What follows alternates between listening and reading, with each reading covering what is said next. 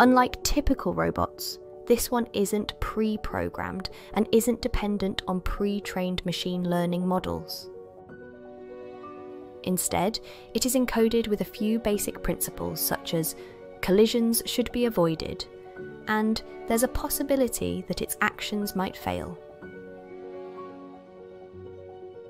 It generates a probabilistic representation of its environment and continuously infers which actions will reduce its uncertainty and optimally fulfill its goals.